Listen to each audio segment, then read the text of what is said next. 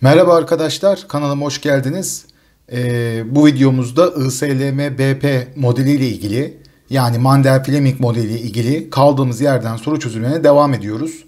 Ee, ilk iki videoda e, BP'yi arkadaşlar biraz e, sorularını çözdük. O konuyu biraz anlatmaya çalıştık. Şimdi ise e, tam sermaye hareketliliğinde esnek kurda nasıl bir politika olabilir? İşte ISLM BP modeliyle ilgili geri kalan konuların arkadaşlar e, özetleyen sorularını e, görmeye çalışacağız. E, ISLM BP modeliyle ilgili fazla bir soru çeşidi yok. E, biz de bir soruyla e, sorulabilecek soruları, konuyu özetleyen özellikle arkadaşlar e, yerleri sizlerle paylaşmaya çalışacağız. O zaman vakit kaybetmeden arkadaşlar kal, e, kaldığımız yerle ilgili soruların çözümlerine geçiş yapalım. Şimdi arkadaşlar ilk soru şu. Diyor ki tam sermaye hareketliliğinde esnek kurda genişletici para politikası yapılırsa son aşamada faiz ve gelir nasıl değişir diye arkadaşlar soruyor. Yani aslında ISLM BP modelini çizmeden, görmeden ee, o soruyu cevaplayabilmek mümkün değil. Bu yüzden de biz de arkadaşlar hemen şekil çiziyoruz. Şeklimizi oluştururken arkadaşlar şöyle yapıyoruz. Şöyle bir Y, burası da I olmak kaydıyla, burası da sıfır orijin noktası. Tam sermaye hareketliliği demiş. Tam sermaye hareketliliğinde arkadaşlar BP yerimiz yataydır. BP eğrisini yatay bir şekilde arkadaşlar çiziyoruz. IS eğrisi negatif eğimidir. Bunu da arkadaşlar bu şekilde çizdik. LM de arkadaşlar pozitif eğimidir. Denge noktası da E noktasında denge olduğunu hem IS hem LM hem BP'nin dengede olduğunu arkadaşlar varsayıyoruz. Ve gelir seviyesi Y, faiz seviyesi de I olarak geçiyor. Şimdi esnek kuru yuvarlak için alıyoruz. Çünkü esnek kur ve sabit kurda farklılaşıyor biliyorsunuz. Ve hangi politika yapılmış? Genişletici para politikası yapılmış. Hemen onunla başlayalım. Başka bir kalem kullanayım. Şimdi genişletici para politikası yapıldığı zaman arkadaşlar şudur. Para arzı artması ya da e, reskont oranlarının azalması ya da arkadaşlar zorunlu rezerv oranlarının düşürülmesi, açık piyasa işlemlerinde API yani Merkez Bankası'nın alım yapması ki kaldı ki Merkez Bankası alım yapıyorsa tahvil alıyor karşında para veriyor. Yani hepsi genişletici para politikası. Yani para arzını arttırır diyelim genişletici para politikası ve bu durumda arkadaşlar LM eğrisini sağa doğru ne yapar? Kaydırır. Peki LM eğrisini sağa doğru kaydıralım. LM'sini sağa doğru kaydırdığımız zaman LM 1 olur. Bakın sağa doğru kaydı. Peki denge noktası değişir. Önce IS ve LM'de iç ve dış denge varken ve BP'nin de üzerindeyken BP dış dengeyi gösterir. Ardından arkadaşlar LM'nin sağa kaymasıyla yeni bir denge noktasına geçildiğini görüyoruz. Ve faizlerin arkadaşlar düştüğünü ve gelir seviyesinde arttığını buradan izleyebiliyoruz. O zaman E'den E1'e doğru bir değişim olur. Ve bunun sonucunda faizler düşer. E, ve gelir seviyesi ne olur arkadaşlar? Artar. Peki BP'nin alt kısmındasınız. BP'nin alt kısmı ödemeler bilançosunda açığın olduğunu gösterir. Bir döviz kıtlığının olduğunu gösterir. Peki bu neden oluştu? Çünkü faizler dünyadaki faiz oranlarının altına düştü yaptığınız politika sonucunda. O zaman faizlerin düşmesi arkadaşlar e, sıcak sermaye hareketliliğini dışarıya doğru yönlendirdi. Yani ülkeden sıcak para arkadaşlar kaçtı. Peki sıcak paranın kaçması demek ne demektir? Doların giderek kıtlaşması, TL'nin de arkadaşlar bollaşması demektir nispeten. Yani karşılaştırmalı bir analiz yapacak olursak. Peki bu durumda kur ne olur? Kuru da şuraya yazalım. Örneğin 1 dolar atıyorum 5 TL iken arkadaşlar dolar kıtlaşıyorsa doların fiyatı artar. Peki doların fiyatının artması demektir 6 TL, 7 TL ya da 8 TL olması demektir. Peki esnek kur diyor. Sabit olsa Merkez Bankası söz verecekti ama esnek kur. Böyle bir gidişata izin veriyoruz. Peki bunun sonucunda ne olur? Merkez Bankası bir e, onu tekrardan sabit tutmak için bir politika yapmadı. E, kur eğer arkadaşlar yükselirse şöyle sonuçların olduğunu söylemiştik. Kur yükselirse yani 5, 6, 7, 8 diye ihracatımız arkadaşlar artar. Çünkü yabancıların satın alma gücü yükselir. Bizden daha fazla mal alırlar. Bizim ise satın alma gücümüz düştüğü için ithalatımız arkadaşlar azalır. Ve e, bu da mal piyasasını arkadaşlar genişletir. Mal piyasası genişler. Çünkü hatırlayacak olursanız AE toplam harcama C artı I artı G artı X eksi M'den oluşuyordu. X'in artması AE'yi arttırır. Yine M'nin azalması da A'yı arttırır. Bu da IS'yi arkadaşlar sağa doğru kaymasına yol açtırır. O zaman geldiğimiz yerden IS sağa doğru kayacak. IS'yi şöyle arkadaşlar sağa doğru kaydırırsak IS 1 olur. Peki neye yol açar? Tekrardan arkadaşlar faizlerin aynı seviyeye geldiğini görüyoruz. E2 diyelim buna. Ve gelir seviyesinin biraz daha arttığını arkadaşlar görebiliyoruz. O zaman sonuç diyecek olursak yani ilk noktayla E ile E2'yi kıyas edecek olursak faizlerin değişmediğini ama gelir seviyesinin arttığını görebiliriz. O zaman faizler sabit, gelir ne olur? Artar denilebilir. Dolayısıyla son aşamada faiz ve gelir nasıl değişir diye soru sorulduğunda faizler değişmez ama gelir ne olur arkadaşlar? Artar ve biz bir politikanın işe yarayıp yaramadığını anlayabilmek için gelir artışına bakıyoruz. Ve gelir burada arkadaşlar arttığını görüyoruz. Yani işe yarayan bir politika, etkili bir politika. Zaten bu günümüzdeki arkadaşlar olayı anlatıyor. Türkiye'de şu an tam sermaye hareketliliği var, esnek kur var ve Merkez Bankası'nın her söylediği eylem oldukça önemlidir diyebiliriz. Buradan sonunda o cevabını e, söyleyebiliriz.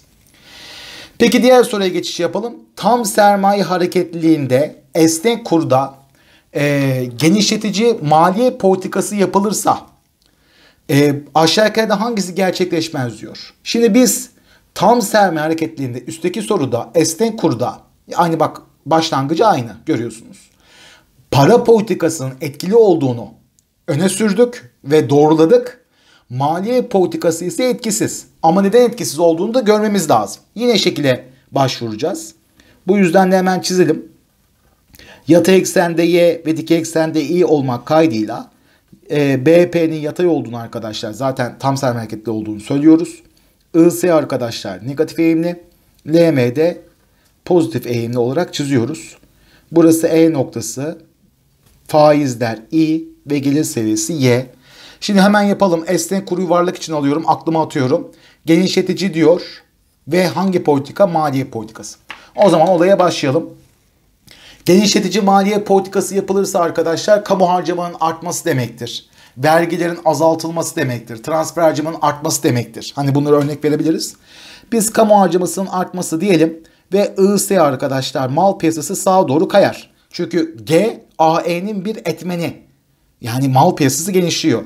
Peki IS'nin sağa doğru kaymasıyla IS1 olur. Peki denge noktası E1'e taşınır. Ve bunun sonucunda arkadaşlar faizlerin ve gelirin de arttığını görebiliyorsunuz. O zaman E'den E1'e doğru gidişat olur. Faizler artar ve gelir seviyesi artar diyebiliriz. Peki bu noktada BP'nin üst kısmındayız. BP'nin üst kısmı döviz bolluğu demektir. Demek ki bir şeyler olmuş ki ülkeye döviz gelmiş ve döviz bollaşmış. Neden? Çünkü artan faiz oranları ülkeye arkadaşlar sıcak parayı getirmiştir. Dünyadaki faizlerden daha yüksek bir faiz oranı ülkede bu yapılan politika sonucunda oluşmuştur. Peki faizlerin artması sıcak parayı getirdi. Sıcak para geldi. Peki sıcak para ne olarak geldi? Tabii dolar cinsinden. Dolar bollaştı. Peki TL'de nispeten ona göre kıt kaldı. Peki bu döviz kurunu nasıl değiştirdi? 1 dolar 5 TL iken bollaşan bir şeyin fiyatı düşer. E, doların fiyatı olan kur e, dolar bollaştığı için düşecek. 4, 3, 2'ye doğru iner. Peki esnek kuru olduğu için de Merkez Bankası'nın bir sözü yok. Peki bu gidişata izin veriyoruz. Peki hemen analiz yapalım. Peki kur düştüğü zaman ne olur? Şöyle yukarı doğru kaydırayım da daha iyi bir analiz yapalım. Arkadaşlar kurun düşmesi şuna yol açar. Kur düşerse e, ihracatımız azalır. Çünkü yerli para değer kazanıyor. Dolar değer kaybediyor. E, dolar değer kaybettiği için e, benim satın alma gücüm artıyor demektir. Dışarıdan daha fazla mal alırım. İthalatım artar. Bu da IS'yi tekrardan sola doğru kaydırır. Bakın kamu harcaması yaparak işe başlamıştık. Çünkü genişletici maliye politikası diyordu. Ama döndü dolaştı. Kurlar yoluyla tekrardan IS geldiği yere geri döndü. E, sonuç faizler aynı seviyesinde kaldı ve gelir de aynı seviyesine kaldı. Yani faizler ilk duruma göre sabit. Yine gelir seviyesi de ilk duruma göre sabit diyebiliriz. Peki hangisi gerçekleşmez diyor. Bir bakalım. Ödemeler bilançosu ilk etapta fazla verir. Aynen. Çünkü yapılan kamu harcaması faizleri arttırmıştır ve ülkeye sermaye sokmuştur. Dolar değer kazanır demiş. Vallahi doların değer kazandığını göremiyorum. Dolar değer kaybettiğini görüyorum. İhracat azalır ithalat artar demiş. Zaten bunu doğruladık. A doğru, C doğru. IS geldiği gibi tekrardan aynı seviyeye geri döner. Hani kurun artması, kurun azalması ihracatı azalttı, ithalatı arttırdı çünkü. Son aşamada faiz ve gelir aynı seviyededir. Zaten geldiği gibi geriye döndüğü için hem faizin sabit olduğunu hem gelirin sabit olduğunu söyledik.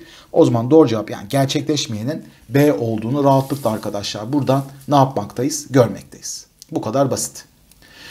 Peki devam ediyoruz. Açık ekonomide ISLM BP modellerini kurgulayan bilim adamı aşağıdakilerden hangisidir arkadaşlar diyor. Bilim adamları. Şimdi Higgs Hansen Hansel yazılmış ama Hansen olacak arkadaşlar. N harfi. Bu ISLM modelini ifade eden şahıslar. Ve bildiğiniz üzere ders anlatırken de anlattım. Soru çözerken de ifade ettim. Bu iki şahıs arkadaşlar e, hangi tarzda analiz yapıyorlar ya da hangi ekol mensubu neoklasik sentez olarak geçer. Neoklasik Keynesyen sentez. Bakın neoklasik değil. Yani Keynesyenlerle klasiklerin aldığı o hani fikirlerini birleştiren, sentezleyen bilim adamları bunlar. Peki Marshall Lerner koşulu var. Biliyorsunuz belki de soruları ileride de vardır. Önceden hazırladım çünkü. EX artı EM'nin birden büyük olması yapılan devalüasyonun işe yaramasından bahsediyor. Marshall Fisher e, iki ayrı iktisatçı. Bunların bir teorileri yok. E, Mandel ve Fleming Mandel Fleming modelleri işte IS, LM, BP modelleri olarak geçer. Bunları da arkadaşlar kitaplarda yine neoklasik sentez e, adı altında e, yorumlayan kitaplar da var. Biz de bunları yine neoklasik ya da neo-Keynesyen e, ekol olarak da sayabiliriz. Zaten ISLM, BP modelleri dışı açık bir ekonomide e, kurlar altında sabit ve esnek kur rejiminde hangi politikanın geçerli olmadığını inceleyen bilim adamlarıydı. Doğru cevap D. Yani ISLM derse Higgs Hansen ama ISLM BP derse Mandel Fleming modelleri diyeceğiz. Peki bir ekonomide denge noktası IS'nin sağında, LM'nin solunda. Bakın bölgeleri vermiş. O zaman bizim ilk önce bir e, denge kurup, bir model kurup o model üzerine hareket etmemiz lazım. BP'nin altında yer alıyorsa aşağı yukarıda hangisi geçer değildir. Şimdi bunu bir görelim. Neresi olduğunu. O yüzden de ne yapacağız arkadaşlar? Şekil çizmek şart. Bir görelim yani neresi olduğunu. Şimdi e, BP'yi dememiş ama BP yine tam sermaye hareketliliği olarak alalım. Peki IS'yi de arkadaşlar böyle alalım. Negatif eğimli mal piyasası. LM'yi de arkadaşlar para piyasası olarak böyle alalım. İç dış denge var. IS'nin sağında diyor. IS'nin sağ tarafında. LM'nin de sol tarafında olacak. LM'nin solu da bu taraf. Bak IS'nin sağ bu taraf. Yani bak 1, 2, 3. Üçü de IS'nin sağ. LM'nin sol tarafında diyor arkadaşlar. E, burası. Öyle mi? Sol taraf burası. Şimdi bak burası IS ve LM uyarken BP'nin de altında diyor. Ama bir numaraya buraya denk gelmiyor. O zaman bunları arkadaşlar ayrı ayrı yorumlamamız isteniyor. Yani bir belli bir bölge e, şekil üzerinden gitmeyeceğiz. Tek tek yorumlayacağız. Şimdi şöyle yapalım. IS'nin sağ diyorsa IS'nin sağ diyorsa ne anlamam lazım? Mal piyasası ve sağ taraf mal arkadaşlar e, arz fazlasını bize gösterir. Bir eğrinin üst kısmında arz fazlası vardır. Bir eğrinin alt kısmında talep fazlası vardır. IS'nin sağ e, kısmı üst kısmı olduğu için mal piyasasında arz fazlası var. Peki LM'nin arkadaşlar LM'nin sol kısmı diyor. LM'nin sol kısmı diyor. LM'nin solunda ise arkadaşlar yine böyle çizecek olursak bakın IS'nin sağ mal arz fazlası. IS'nin solu mal talep fazlası. LM'nin sağ para piyasası olduğu için LM para talep fazlası. Üst kısmı para arz fazlası. Solu olduğu için para arz fazlası. Peki son olarak da BP'nin arkadaşlar neresi? 6 diyor. BP'nin altına da zaten diğer e, soruları çözerken de ifade ettik. Ödemeler bilançosu dövizi gösteriyor. Döviz talep fazlası. Yani döviz kıtlığı olduğunu çıkartabiliriz. Peki şimdi bakalım hangisi gerçekleşmez, hangisi değildir diyor. IS sağında olduğu için mal arz fazlası vardır. Bu doğru. Ödemeler bilançosu açığı vardır. BP'nin 6 döviz talep fazlası, döviz kıtlığı. Bu doğru. Peki ee, şimdi bak burada işler karışıyor. Burada işler karışıyor. Tahvil arz fazlası vardır diyor. Şimdi tahvil piyasasıyla para piyasası nasıl çalışıyordu? Ters. Bir dakika. LM'nin solu LM'nin solu şurası. Para arz fazlası varsa tahvil talep fazlası var. Tahvil talep fazlası var. Bakın para arz fazlası tahvile ters çalışıyordu. Neden? Para bolsa insanlar tahvil alıyordu. Tahvil olan talep artıyordu. Tahvil talep fazlası söz konusu. Yani olmayan C gibi duruyor. Diğerine bakalım. Tasarruflar yatırımlardan büyüktür. Evet mal piyasasında arz fazlası var. Çünkü I, AE'nin bir fonksiyonu talep. S de arkadaşlar sızıntı. Bu da doğru. Yani şuna uyuyor. Peki döviz talebi döviz arzından büyük. Yani döviz kıtlığı var. Yani aslında döviz talep fazlası var demenin diğer versiyonu. O zaman buradan da C şıkkının e, yanlış olduğunu ne yapabilirim arkadaşlar? Çekebilirim. Yani böyle e, denemek gerekiyor, bakmak gerekiyor. İşte her soruyu da kalkıp da böyle grafikle yapacaksınız diye bir kaide, bir şart yok. Peki devam ediyoruz arkadaşlar diğer e, sayfayla. Peki diğer sayfamız ne diyor? Bir bakalım şimdi arkadaşlar. Ee, ilk soru şöyle başlıyor. Devalüasyonun dış ticaret hacmi üzerindeki etkisini gösteren eğriye ne ad verilir? Şimdi arkadaşlar devalüasyon sabit kurda olur. Öyle değil mi? Sabit kurda rezervler yetersizse ve e, bir türlü de o rez, e, rezervler olmadığı için kuru sabit tutamıyorsanız, verdiğiniz sözü yerine getiremiyorsanız o zaman arkadaşlar sizin e, bir devalüasyon yapmanız lazım. Devalüasyon şöyle olur. 1 dolar eski kurdan bahsediyorum. 3 TL iken yeni kur olarak şunu açıklamanızdır. Artık 1 dolar 5 TL olacak demenizdir. Tabi Merkez Bankası ile beraber hükümetin ortaklaşa aldığı karardır. Peki bunun dış ticaret hacmi üzerine nasıl bir etkisi olabilir? Şöyle bir etkisi olabilir. E, doların fiyatı artıyorsa, Türk lirası değer kaybediyorsa ihracat yükselir, ithalat da azalır. Yani devalüasyon ülkedeki ihracatın artması yönünde etkilidir, ithalatı da azaltması yönünde etkilidir. Yani kuru yani değersizleştirerek, devalüasyon yaparak ülkenize aslında döviz çekmeye çalışıyorsunuz. İhracat çünkü ülkeye döviz kazandır. İthalatın azalması yine döviz kazandır. Çünkü döviz talep etmez.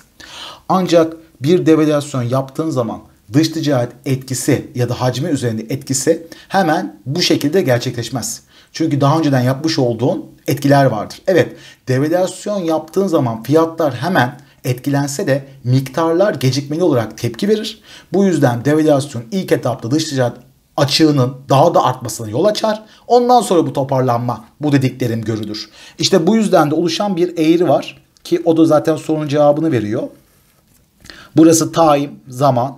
Burası 0. Burası nx yani x eksi m ve t0 zamanında bir açığınız varsa bu açığınız devalüasyonla beraber daha da arkadaşlar azalıyor. Yani bu açığınız daha da artıyor diyeyim. Ve maksimum açığına ulaştıktan sonra e, devalüasyonun toparlayıcı etkilerini görebiliyorsunuz. Dolayısıyla bu eğri J'ye benzediği için J eğrisi adını ne yapıyoruz? Veriyoruz.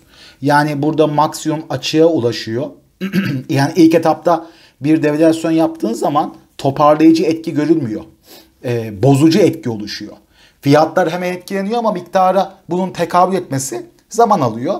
Maksimum açıktan sonra toparlayıcı etkiler, o fiyatlarla miktarlar uyum gösterdikten sonra artık şu çizdiğim oklarla beraber e, devalüasyonun iyileştirici etkisini görüyorsunuz.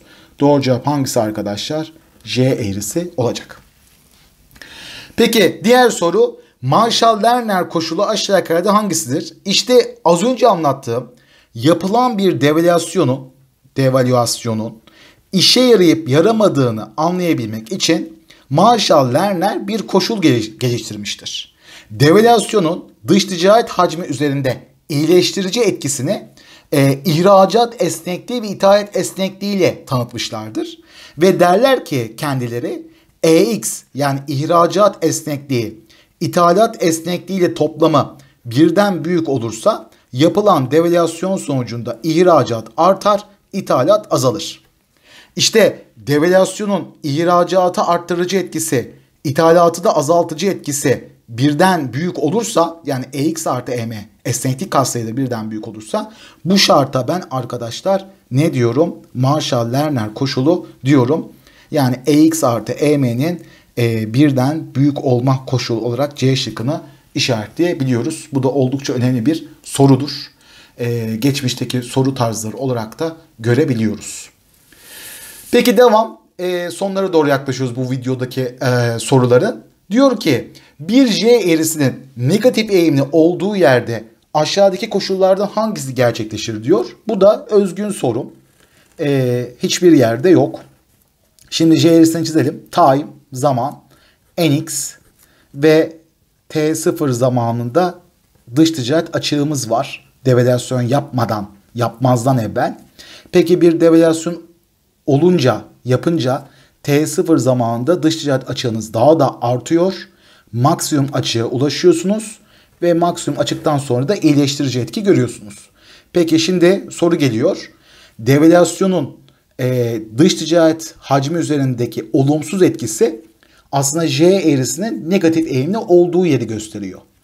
E, tam taban noktasında yani ne negatif ne pozitif olduğu yerde maksimum açık söz konusu Peki devalüasyonun dış ticaret hacmi üzerinde iyileştirici etkisi ise pozitif olduğu yeri gösteriyor. Şimdi bakın ne diyor? Negatif etki. O zaman EX artı EM'nin birden küçük olması lazım. Neden hocam? Bak şimdi bunu karşıya at. Derste de anlattım. EX o zaman küçüktür. 1 eksi EM olmaz mı? Yani devalüasyon ihracatı daha az arttırıyor ama ithalatı e, daha az azaltıyor. Daha fazla azaltıyor. Çünkü büyüktür işareti burada. Dolayısıyla devalüasyonun kötü etkisi daha büyük olduğunu görüyoruz. E, o zaman da arkadaşlar demek ki EX artı EM'nin birden küçük olduğunu ve devalüasyonun burada dış ticareti daha da bozduğunu görürüz. Bakın tam şurada max taban noktasında EX artı EM'nin 1'e eşit olduğunu görüyoruz. Ne iyi ne de kötü. Peki pozitif olduğu yerde de yapılan devalüasyon iyileştirici etkisini görüyoruz. Yani Marshall-Lerner koşulu dediğimiz şey o da EX artı EM'nin birden büyük olduğu yeri bize izah ediyor. Negatif dediği için EX artı EM birden küçüktür diyebiliriz. Buradan da D şıkkını seçerdik.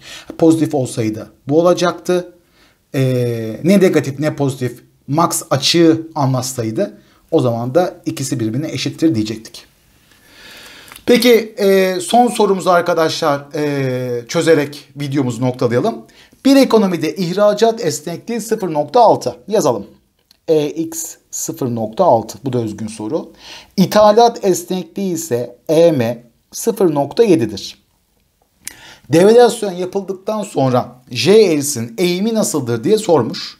Marshall Lerner'e göre bu ikisini toplayalım. Çünkü EX artı EM'ye göre karar veriyorduk ve ikisinin toplamı 1.3 yapar. Yani birden büyüktür. Marshall-Lerner koşulunu doğrular. Çünkü Marshall-Lerner ne diyordu? Bir devalüasyon yaptığında bulduğun değer EX artı EM'nin değeri, toplamı değeri birden büyükse yapılan devalüasyon dış ticaret açığını kapatır. Yani işine yarar. O zaman ben de verilen sayılarla topladığımda birden büyük olduğunu görüyorum. Demek ki EX artı EM birden büyükse demek ki J eğrisinin pozitif eğimli olduğunu anlayabiliyorum. Başka bir şekilde çizmedim. Üstteki şekli düşündük. Demek ki J eğrisinin eğimi pozitif eğime sahiptir arkadaşlar diyebiliriz. Ha eğer değer birden küçük çıksaydı negatife sahiptir diyecektik. Tam biri eşit çıksaydı da eğimi sıfırdır diyecektik. J eğrisinin arkadaşlar yani ne negatif ne pozitiftir diye de bu durumu açıklayacaktık. Buyurun arkadaşlar çok önemli. 8 tane sorun çözümü işte karşınızda. Yani e, eksiğiniz olabilir. Bu eksiklikleri e, konuyu anlattık zaten. Orada da tamamlayabilirsiniz arkadaşlar. Neyse lafı fazla uzatmayayım. Hepinize arkadaşlar çalışmanızda başarılar diliyorum.